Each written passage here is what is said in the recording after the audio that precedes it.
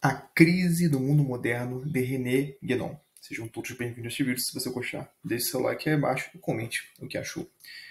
De antemão, vamos lá. Vai vir gente chata pra cacete nesse vídeo. É pessoa chatólica. Né? Eu fiz questão de gravar esse livro na mão, com Nossa Senhora aqui atrás, para espantar esse pessoal pentelho. Não tem outro nome. Pentelho. Tem um pessoalzinho né, afetado, né, que é o pessoal da, da seita esotérica, sei lá o que, que vai falar, não, você não entendeu o René Guénon, né? Então, assim, de antemão, já quero espantar essas duas pessoas. Para a primeira estilo de pessoas, né, chatólicas, já estou gravando aqui com Nossa Senhora aqui atrás e vou falar sim de René qual o problema, né? Ah, René é islâmico, né? René é maquiavélico, ele quer islamizar o Ocidente também, né? Enfim, islamizou a Europa, né? Tem tudo isso. Bom, o que eu vou passar aqui são minhas impressões como leitor, né? E isso cabe ao segundo eh, grupo de pessoas que vão assistir esse vídeo, né? Que são pessoas especialistas né, em René Guénon e que vão ficar falando sempre nos comentários: você não entendeu bem René Guénon, você entendeu tudo errado. Meu amigo, vou te passar minhas impressões como leitor. Capiche? Então, Vamos lá. Sendo que o que eu vou ler aqui, o que eu, o que eu li nesse livro, são só impressões né, de leitor. Eu terminei ele ontem, inclusive, né? E eu devo dizer também que deixe bem claro que foi a primeira leitura que eu terminei até o final do René Guénon, tá? Então, assim, eu já li o Reino da Quantidade, Seus Sinais dos Tempos, só o início, depois dei uma pausa. Também li um pouquinho de Oriente e Ocidente e dei uma pausa, né? E decidi terminar isso aqui, né? Até porque é fininho, o assunto, assim, é que mais me convinha no momento, né? Então vamos lá, vou passar minhas impressões como leitor. De antemão, eu queria quebrar um estigma, né? Que tem um estigma muito chato, né? Entre pessoas que são católicas. E é por isso que eu até fiz questão de gravar com Nossa Senhora aqui atrás. Porque eu podia muito bem fazer o seguinte, ó. Podia fazer assim, ó. Começar a gravar, né? Mas eu fiz questão de fazer com Nossa Senhora aqui atrás para quebrar esse estigma muito imbecil não tem outra palavra, né? Muito imbecil que os católicos têm do Guénon, né? Então alguns põem ele como um demônio, né? É uma pessoa que até tem um adágio que usam para ele, né? Tipo assim, olha, decifra-me ou eu te devoro, né? Uma pessoa que vai te raptar, raptar sua fé, vai te manipular. Francamente falando, eu não posso dizer se sim ou não, viu? Aí eu vou passar a minha impressão como eu tive com essa leitura. Não vi nenhuma desonestidade nessa leitura. Tá? E olha que eu já li Maquiavel, já li realmente escritores que são desonestos na sua, na sua essência, né? Já li até o final também Marx tudo mais, né? Engels, né? Então, assim, eu conheço alguns escritores que são realmente desonestos, né? Já li também Sartre, né? Tô lembrando aqui agora, Foucault, né? São pessoas que realmente querem é, macular a verdade a seu favor, né? Às vezes até para manipular um grupo de pessoas, uma elite intelectual. Não acredito que seja o caso do Guénon, pelo menos a impressão que eu tive nesse livro, né? Então, assim, católicos, né, que eu chamo de chatólicos, às vezes, né? Tem um grupo de pessoas que são católicos são chatas pra cacete. Leia um Guénon, você não vai perder sua fé por causa disso. Leia um pouquinho, né? E se você acha que está perdendo a sua fé, então tá bom, dá pausa e não lê mais, né? Mas nesse livro aqui, vou passar minha, minha impressão, viu? Achei de uma escrita muito gostosa. Achei de uma escrita absolutamente cativante. É um sujeito que tem bastante conhecimento.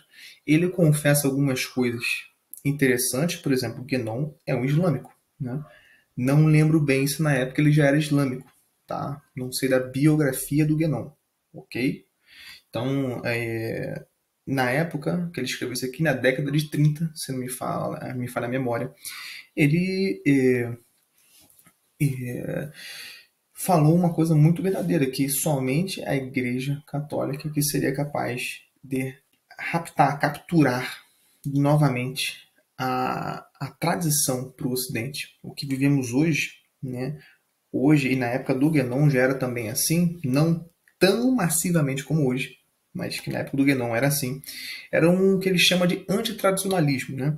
Não é uma, uma, uma um senso, um, um senso comum que a gente tem hoje, né, é que o Ocidente é cristão, não é isso? A gente fala assim, ah, majoritariamente o Ocidente é cristão, só que na prática, na sua praxis, né, no seu modus operandi, né, a operação ali das pessoas que praticam bem o cristianismo não é bem assim, né? São pessoas que misturam religiões, são pessoas que não são verdadeiramente católicas, não tentam, não frequentam a própria fé, não vão à igreja, não vão para missa, para o culto, não vão. Então, assim, que cristianismo é esse, né? Onde há essa mistagogia de, de religiões, e secretismo religioso. Então, ah, na época do Guénon, eles já reparavam um certo tipo de asco que as pessoas tinham pela tradição. Ele já denunciava isso, e com isso ele chegava à conclusão que, olha, só o que poderia salvar o Ocidente seria a Igreja Católica, porque ela é, seria detentora dessa, dessa moral, dessa tradição que poderia ser resgatada no Ocidente. Ele, nesse livro aqui, ele põe muito o Oriente como a, a impressão que eu tive, tá? Passar a minha impressão que eu tive com, lendo aqui. Ele põe o Oriente como, assim, um irmão estilo Abel, né?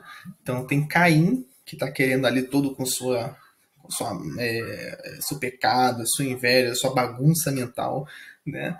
Que é o Ocidente, o Caim é o Ocidente, né? Ele não usa analogia, tá? Parênteses, ele não usa analogia, ok? Então, é, eu estou falando aqui para vocês, né? O que a impressão que eu tive e a analogia que eu estou usando é minha, beleza? Só para não ficar gente chata aí no, enchendo a porra do meu saco, né? então, assim, o, o Oriente seria como se fosse o Abel, né? E Caim né, fosse o Ocidente, né? E essa tentativa, né, de tentar de alguma forma apedrejar né, o Oriente, né, o Ocidente tentando macular ali né, o, o Oriente. E o próprio Guénon, ele, ele fala assim, olha, né, o Ocidente está praticamente perdido, nós estamos vivendo num momento chamado Kali Yuga, né? Kali Yuga é um momento em que estamos no fim dos tempos, há um ciclo, né? então há um, há um, verdadeiro ciclo onde a, a, história da humanidade passa por fases e, na opinião aí do Guénon, na avaliação que ele faz, é que nós estamos nos últimos tempos. Né? Tempos esse que ele nomeia como Kali Yuga. Né? Kali Yuga, se não me engano, é, vem da filosofia hindu. Né? O próprio Guénon ele é muito uma pessoa que é, pre, tem essas predileções em estudar religiões mais hindus, né? É, em estudar religiões né? em geral. Né? Eu vejo que ele é um, um, sujeito que tem bastante conhecimento simbólico. Não à toa, se vocês pegarem aí o. Acho que é São João Paulo II, né? João Paulo II, que foi Papa, né? ele estudava Guénon. Ele confessava publicamente que Guénon era um dos eh, escritores que mais tem conhecimento sobre simbólica no mundo inteiro. Né? Então, a, o João Paulo II, que é santo, chegou nessa conclusão. E, inclusive, fica aí também mais uma alfinetada para os católicos. Né? Pessoal, pentelho pra cacete, né? Que fica esse negócio de Agnon não pode ser lido porque é um demônio, sei lá o quê, né? Bem, tá porra, né? Esse pessoal muito neurótico. A palavra certa seria escrupuloso, né? Então, assim, é, o, próprio João Paulo II ele tem um livro, se eu não me engano, é um livro que estava na mesa dele e foi tirado uma foto. Pode colocar aí no Google, Guénon e João Paulo II, talvez você ache. Tá? Eu já vi essa foto em algum lugar, acho que não foi, foi no Facebook, não sei. Né? E é, demonstra assim, como o próprio santo ele tem que saber separar o jogo do trigo, né? Ok, né? Só porque algum autor né, ele pode estar sendo malicioso, a gente não tem que ler ele, é isso mesmo? A gente está falando de um autor aqui, né, o escritor René Guénon, que ele influenciou a Europa toda. Né? A, a gente pode dizer com uma certa propriedade que a Europa hoje só é islâmica muito por conta de Chuon Guénon. Tá? Então ele quis fazer isso né, e fez. Né, o Guénon islamizou a Europa. Tá? Ele falou que ia fazer e fez. Né? Então, assim, é, sobre a, a, a, a, crise do mundo moderno, né? Então, para a gente não ficar focando só na vida do autor aqui, né? Mas no conteúdo do livro, para quem estiver interessado a ler. Eu vi algumas profecias interessantes aqui. É, tem uma parte, se não me engano, é neste livro, tá? Me perdoem a minha memória, porque assim, eu li até metade no ano passado e eu terminei esse ano, tá bom? Então eu dei uma pausa né, um intermédio entre o ano passado e o final desse ano. E o início do livro, se não me engano, ele fala ali uma certa tipo de é, coisa que aconteceu hoje em dia. Ele, ele confessou, em meados da década de 30, que o dinheiro iria sumir. E é de fato isso que a gente está vendo, não é mesmo? o dinheiro, basicamente, a cédula sumiu, só tem cartão, só tem Pix. é interessante, né? Vocês estão entendendo por que, que vale a pena dar uma lida no Guénon? Porque há muita coisa né, que naquela época ele já estava notando que já acontece, já está acontecendo bastante tempo, né? E, ou às vezes já até aconteceu. Então aqui, eu vou, eu gosto de fazer isso nas leituras, né? Eu tenho que fazer isso com mais frequência. Eu vou pegar uma parte que eu achei muito interessante, em que o Guénon, ele, é, vou pegar aqui uma parte interessante que vocês vão gostar, né? E que, que ele fala sobre a questão da opinião, que é uma coisa profética, que também nós vemos hoje, tá? Então, para terminar o vídeo e deixar vocês com vontade de ler, é, só uma observação, o link vai estar tá aí embaixo para vocês adquirirem né, o livro, tá? Num preço bacana.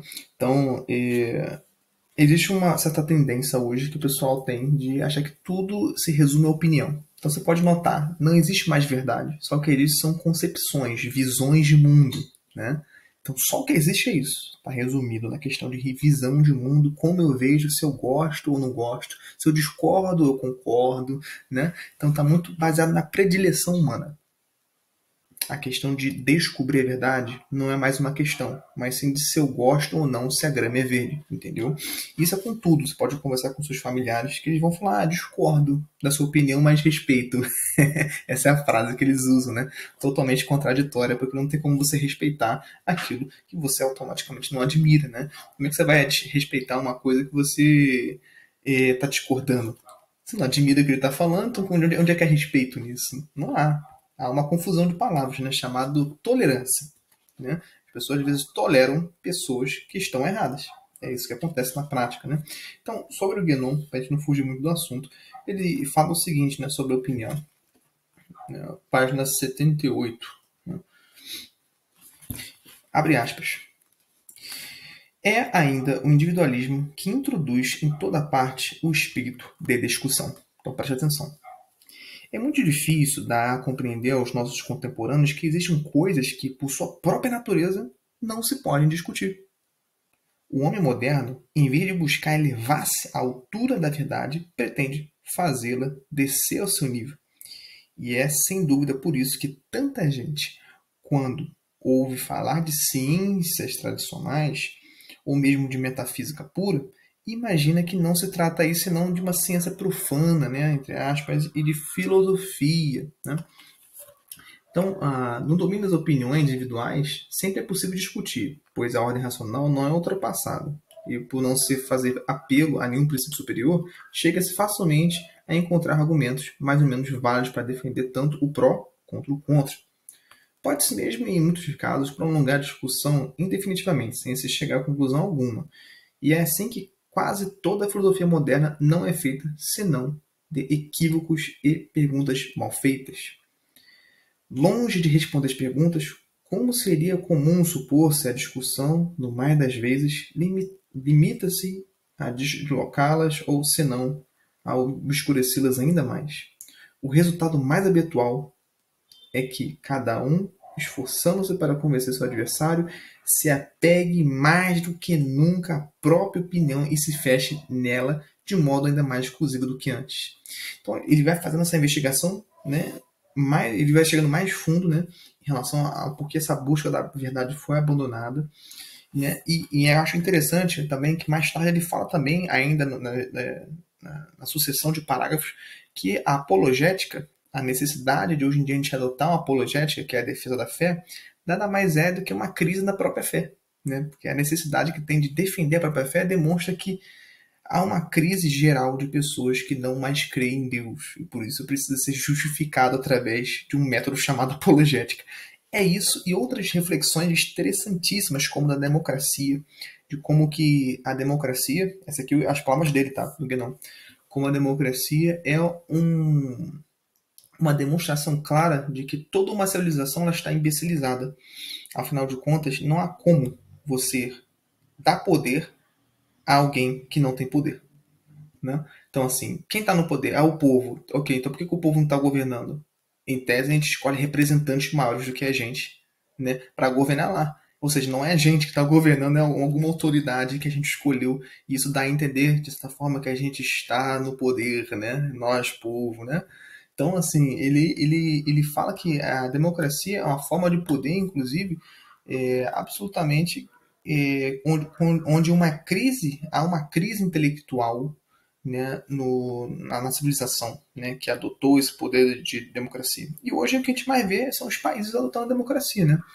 Eu me foge o conhecimento agora de algum país que não, que não seja é, adotado pela democracia. Eu sei que existem alguns países até hoje que adotam a monarquia e tudo mais, mas se vocês lerem o livro de Platão, há esse tipo de degradação que é gradual. Né? Vem lá da aristocracia, né? aí depois você, você vai diminuindo né, formas de poder, né, tudo por conta. Platão bota muita culpa nas mulheres, porque elas são detentoras da educação, né? Afinal de contas, são elas que educam os nossos filhos, ou seja, as nossas gerações. Então, assim, o filho vai querer, por exemplo, ao invés de ser aristocrata, ele querer ser o. o me fugiu aqui na, na cabeça o nome, né? Da pessoa que. É, acima da monarquia. Bom, me fugiu aqui a cabeça, né? Mas vocês sabem né, as formas de poder que existem, né? Monarquia, né? Tem oligarquia, né? E, enfim, uh, me fugiu aqui na cabeça. E por último chega na, nesse ponto térreo, né? Que, que a gente chama de democracia, que nada mais é que, vamos dizer assim, a tirania da maioria, né? E a maioria, pela sua própria definição, é imbecil, né? A maioria das pessoas são burras. Já dizia Nelson Rodrigues que toda unanimidade é burra, né? então, uh, é muito interessante esse livro, tá? Recomendo que vocês leiam e parem de ser chatos, escrupulosos, vocês católicos. Puta que pariu, bicho. Eu aposto que vocês são tão escrupulosos que só de eu falar palavrão aqui tá dando chilique, tá querendo sair do vídeo, ai, tapando os ouvidos. Deixem de ser pessoas anormais, pelo amor de Deus, cara. Deixem de ser pessoas anormais, seja um pouco normal. Vai ler, você não vai ser o islâmico porque fez uma leitura. Só você ler com o pé atrás. Se você está tão pé atrás assim, leia com o pé atrás. Então, né? Fazer o quê? Leia com o pé atrás, achando que ele vai te islamizar. Dá uma olhadinha aqui, né? Parem de ser imbecil. O imbecil, por própria definição, é isso. Ele fica fechado nessa bolha. A definição de idiota é isso, né? A pessoa que fica presa no seu próprio umbigo e só quer ler livros que convêm na sua própria fé ou que convêm na sua própria opinião. Leiam pessoas também, né, como eu tive que ler Marx, Foucault, Sartre, são pessoas que descem um cacete no cristianismo. Eu tenho aqui a obra completa do, do Freud, sempre desceu o cacete no cristianismo, entendeu? Então, assim, vocês têm que ler isso para entender a origem da merda que estamos hoje. Vocês têm que ler isso, né, para entender a origem do porquê. Breve parênteses antes de fechar, é, não recomendo a leitura de Guénon livre, tá? É, eu acredito que ele é um autor que exige um certo tipo de bagagem intelectual, tá? Se você nunca leu nada assim de filosofia, é, de cultura, de história, é, até mesmo de, é, de política, mais principalmente de literatura clássica, você não consome nada, não, não recomendo começar por aqui, senão acho que você não vai entender muita coisa, não vai ter muito proveito, tá? Para Guénon tem que ter uma certa bagagem, até mesmo maturidade espiritual, viu? Embora eu esteja brincando aqui com vocês tudo mais, né? Existem pessoas que têm a fé muito fraca, né? Que têm um catolicismo muito fraco, né? Que tem um cristianismo em si muito fraco, está começando agora começando. Não, para essas pessoas, então eu falo, então não leia, não leia, não, pode esperar, né? Não vai sair voando o livro aí, né? Vai sair voando e você vai perder a oportunidade, né? Tá bom? Então fiquem com Deus, grande abraço né? e até ao próximo vídeo.